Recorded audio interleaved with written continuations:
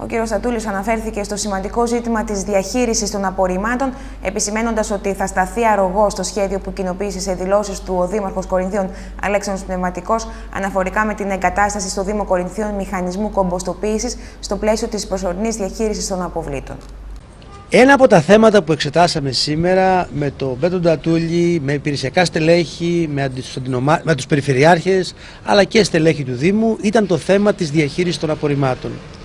Ο Δήμος Κορινθίων ξέρει πολύ καλά και αυτό το είδαμε και την προηγούμενη εβδομάδα όταν είμαστε στα πλαίσια μιας ημερίδας του ΙΠΕΚΑ που αναλύθηκε η οδηγία 98 του 2008 Ξέρει πολύ καλά ο Δήμος Κορινθίων ότι η διαχείριση πλέον των απορριμμάτων στη χώρα θα γίνει σύμφωνα με την οδηγία 98 του 2008.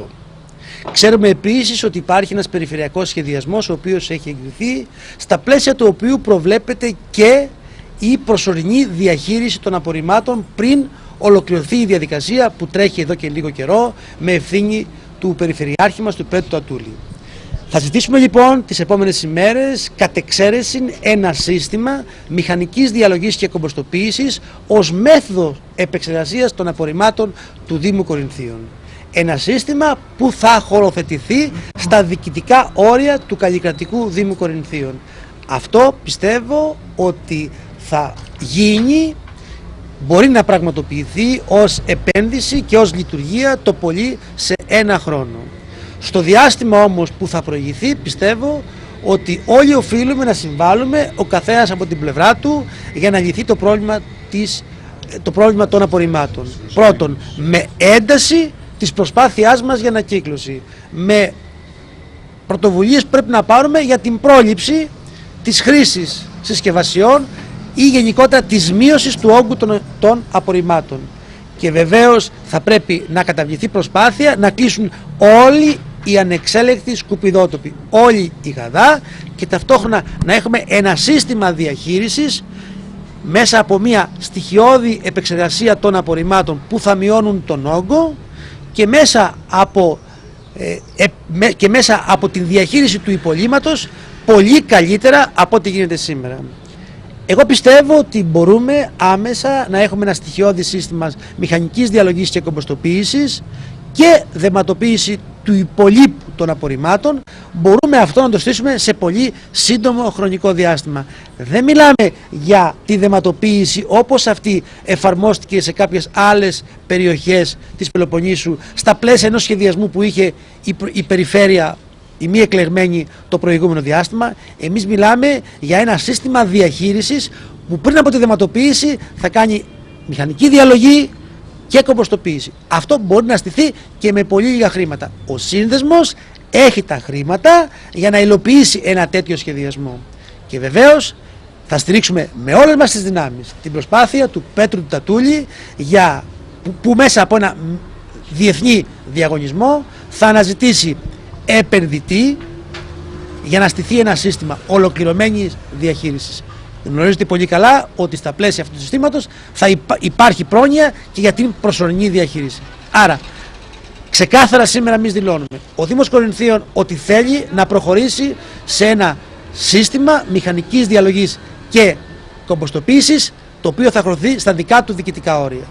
Και επίσης ξεκάθαρα δηλώνουμε ότι θα στηρίξουμε και προσπάθειες για την προσωρινή διαχείριση των απορριμμάτων αλλά κυρίως θα στηρίξουμε την προσπάθεια τη μεγάλη για την διαχείριση των απορριμμάτων στα πλαίσια του σχεδιασμού όπως αυτός προβλέπεται από τον περιφερειακό σχεδιασμό στην περιφέρεια Πελοποννήσου που ήδη έχουν ξεκινήσει τα πρώτα σημαντικά βήματα σε επίπεδο περιφέρειας από τον Πέτρο του Δατούλη.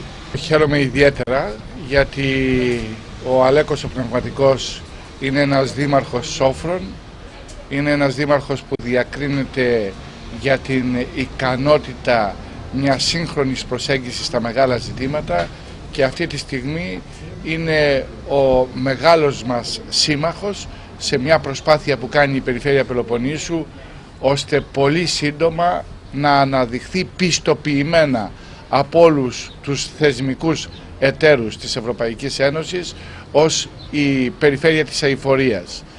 Και σε αυτή τη λογική λοιπόν έχουμε επεξεργαστεί πολλές φορές το τελικό σχέδιο προς την κατεύθυνση αυτή.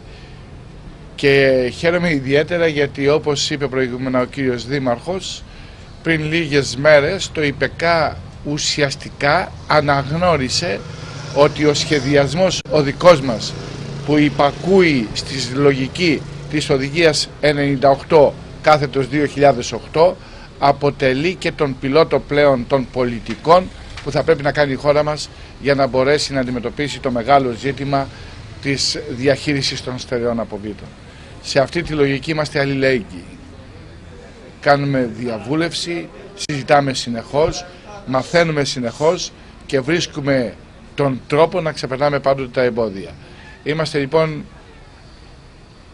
συνήγοροι, είμαστε αλληλέγγυοι στην άποψη του κύριου Δημάρχου.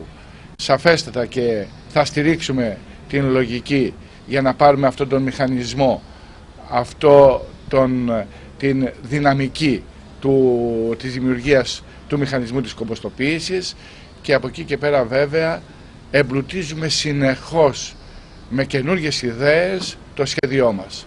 Και σε αυτή τη λογική λοιπόν είμαστε σίγουροι από την 1η Εβδόμου του 2011 που οι υπηρεσίες της διαχειριστικής αρχής και οι υπόλοιπες τεχνικές υπηρεσίες ε, της αποκεντρωμένης διοίκησης θα έρθουν στην δική μας ευθύνη να προχωρήσουμε με γρήγορα βήματα για να υλοποιήσουμε τον, τον ε, ολικό μας σχεδιασμό. Θα το πω για άλλη μια φορά. Εμείς εδώ στην περιφέρεια Πελοποννήσου, στη Νέα Πελοπόννησο, αποδεικνύουμε συνεχώς και έμπρακτα ότι η περιφέρειά μας θα είναι ένα πρότυπο περιφέρειας όπου πλέον καινούργιες αντιλήψεις, καινούργια ήθη και έθιμα θα αποτελούν την μεγάλη δυναμική μας για να συναντήσουμε με μεγάλη ελπίδα και αισιοδοξία το αύριο σε μια περίοδο πολύ δύσκολη για τη χώρα μας.